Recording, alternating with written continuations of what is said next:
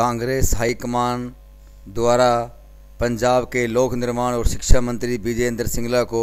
Congress party के प्रति किए कार्यों को देखते हुए श्रीमती सोनिया गांधी ने उनको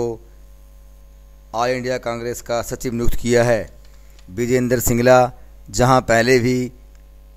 कांग्रेस पार्टी के लिए देश के अलग अलग हिस्सों के अंदर चुनाव रैलियों में और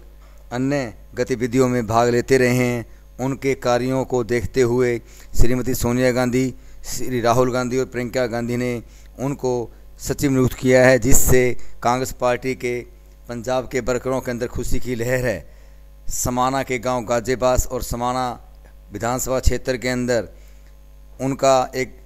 रुतबा है, क्योंकि उनके पिता पटियाला से महरूम, श्री संतराम सिंगला लोकसभा सदस्य रह चुके हैं और उनकी पारिवारिक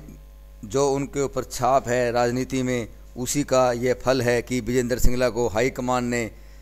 यह ज़िम्मेदारी सौंपी है और उससे